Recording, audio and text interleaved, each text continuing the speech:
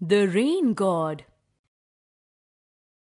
Lord Indra is called the god of thunder and rains in India.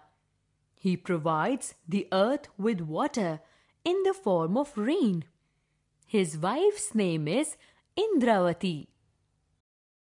Indra possesses a powerful celestial weapon, the Vajra. The Vajra is believed to be made up of sage Dadhichi's bones. Lord Indra rides the divine elephant Airavat, who is as huge as a mountain and has four tusks. Indra's most famous deed was his triumph over demon Vritra.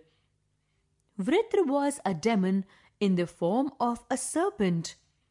He had sharp claws, large fangs, scales, and a tail that was said to be bigger than the biggest of trees. Once, Vritra stole all the water from the world. When Indra heard about this, he vowed to get the water back. He went to the mountain where Vritra, the huge serpent, was lying coiled around. Vritra, you hold the waters that bring life to the earth and the gods of the skies. I command you to release the water, or I will force you to do so, said Indra. Vritra made a thunderous sound. Hiss, hiss. Who disturbs my sleep?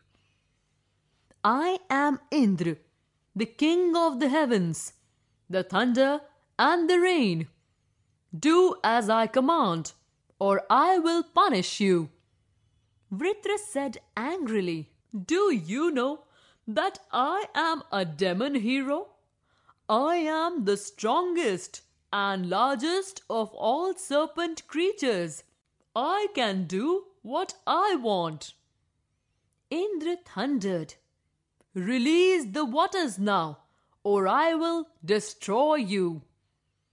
Never, said the Vritra. Indra leaped into the sky far above the clouds and grabbed the Vajra, his most powerful weapon.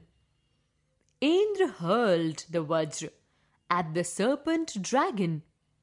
The bolt hit the demon on his stomach, opening it and releasing all of the earth's water back to the land.